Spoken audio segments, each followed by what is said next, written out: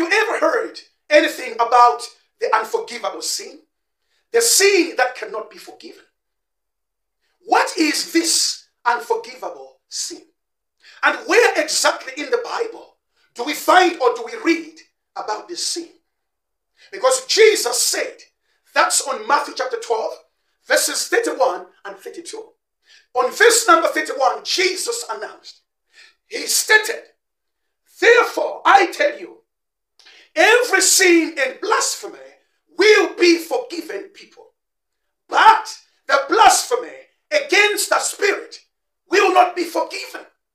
Now, listen to verse number 32 again, an emphasis of what's said in verse number 31. And whoever speaks a word against the Son of Man will be forgiven. But whoever speaks against the Holy Spirit will not be forgiven. And now listen, either in this age or in the age to come. This is very strong. How can such a sin be unforgivable in this age as well as in the eternal age that is to come? This must be very strong. This must be very scary. But no need to be scared. The Bible is good news. The word of God did not come, is not there to condemn or intimidate or scare anybody. If you get scared by God's word, it must be that you haven't understood the word of God correctly. Remember, the word of God, the Bible is there to reveal truth and not to hide truth or to confuse anybody. I must admit that a lot of Christians, a lot of Bible readers, including ministers, pastors, prophets, bishops, apostles, they are afraid. They pass by this verse. That's why not many ministers want to tackle what's said in this verse because it's not simple to explain. In this verse, a lot of people just shun it to say, I don't want anything much to do with that verse because it scares them. It also confuses them.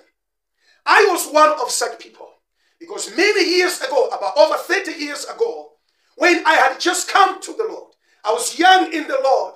I didn't know much. And there weren't many believers in my village because at the time that I received Christ, I had just lost my dad.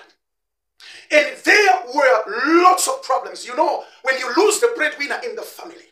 So there were lots of problems. I had gone even into depression, psychological issues, trauma, and stuff.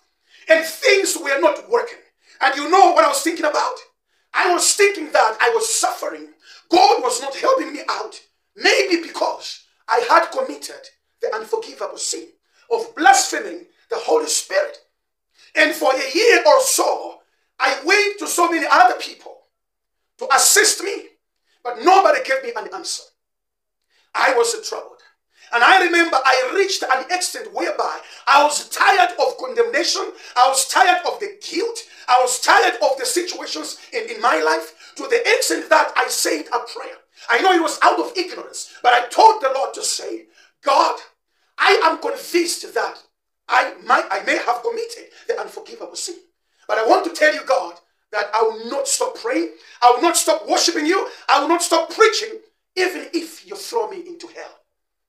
I'm serious. I told the Lord that. But I thank God that I knew the truth. So, what is the unforgivable sin? You know, this issue of the unforgivable sin, which these two verses you know, are talking about, is quite confusing because the rest of the Bible says that God is gracious. We are saved by grace. God is merciful. God's love is unconditional. We don't do anything to earn His love or the salvation. We are saved by grace. How can there be then an unforgivable sin? Context will tell us. You know, context is the principle number one to make sure that you interpret scriptures correctly, but it also it is also the best tool of unlocking even the most confusing verses in the Bible. So context is key. What happened that prompted Jesus to say this strong statement? That's our context. So let's go back to verse number 22 because that's where it all began. So Matthew chapter 12 verse number 22, the Bible says, a demon oppressed man who was blind and mute was brought to Jesus. And Jesus healed him so much that the man immediately spoke. He was down before he spoke and he saw. Wow. The man was born blind.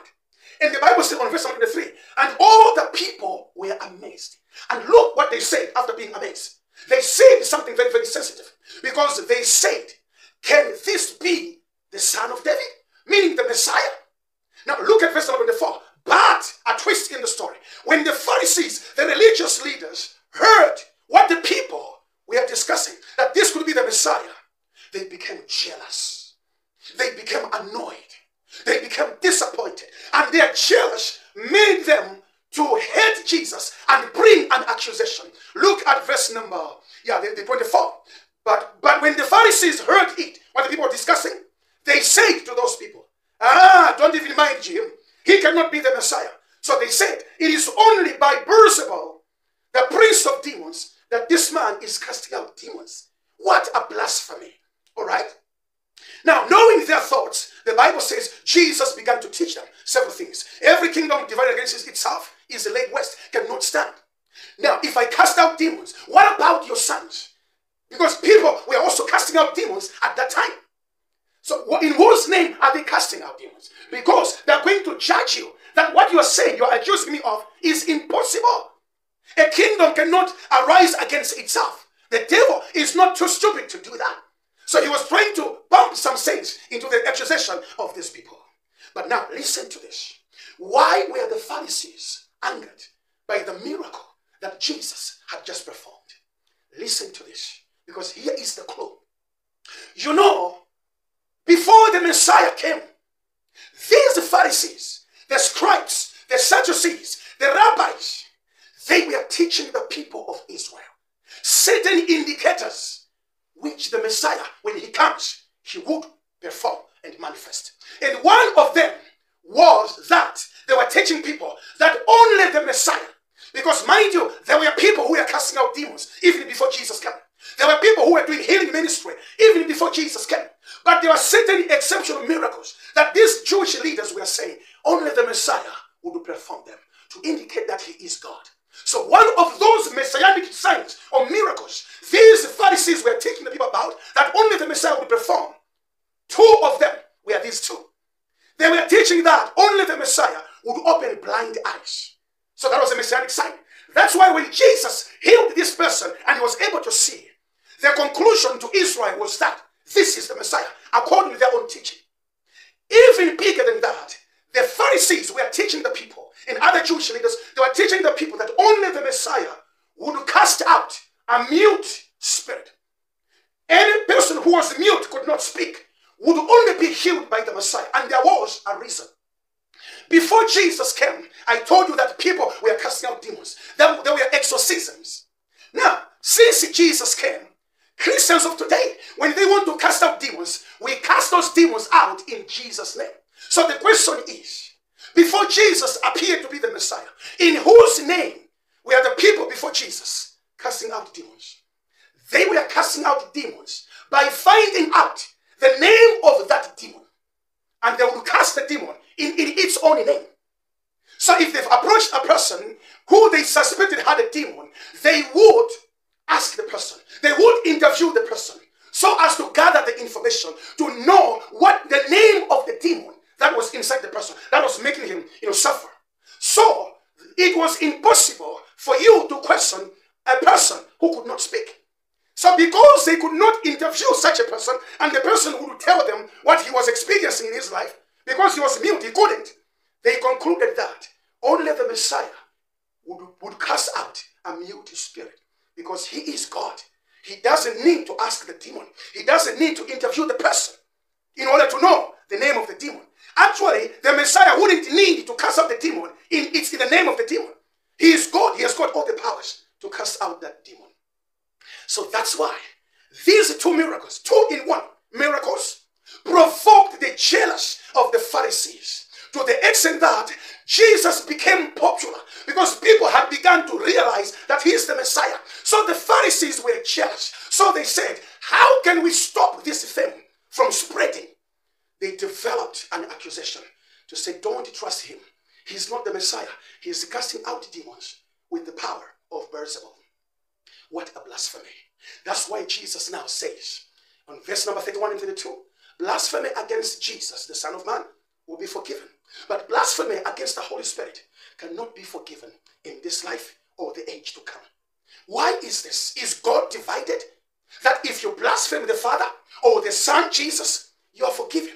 You, you'll be forgiven. But if you blaspheme the Holy Spirit, he says you can't be forgiven. Now, this is the only sin that's unforgivable. And the reason why it's unforgivable, it is not based on God. That he, he can't forgive that. No, God can forgive every sin you can imagine. There is no sin too big for God to forgive and cleanse. But this sin is unforgivable, not based on God's ability or inability. It is based on the person who is supposed to be the beneficiary of the forgiveness. He will reject the forgiveness. So Jesus, what he was talking about was this. In salvation, the Father has a role. Jesus has a role as the Savior. The Father, as the loving Father, He draws people to Christ, all right? But the, the, the, the final role for somebody to be saved is what is known as the effectual call. The conviction of sin and the effectual call to believe in Christ. That final part of salvation is done by the Holy Spirit. So Jesus was warning the people to say, You can blaspheme the Father, you can blaspheme Jesus Christ. But the Holy Spirit, the one who enters in your spirit, the one who can cause you to be born again, the one who convicts you, if he convicts you, do not reject him. Do not underrate him. Do not despise him. Because if you reject him, there is no way you can be saved. So by not being saved, you cannot be forgiven in this age or the age to come. That's the only unforgivable sin. It is the sin of rejecting the effectual call. Because the Holy Spirit, Jesus, you can see him. The Father, you can see him. But the Holy Spirit works, enters your spirit, and works from within. Which means, if you reject the conviction of the Holy Spirit, moving you to believe in Christ, and you reject that, you are beyond redemption. And it's not God's fault. It's your own fault. Going to be unforgivable, not because God doesn't want to forgive you, but simply because you have rejected even the process of being saved, which God gave you by His grace. Stay blessed.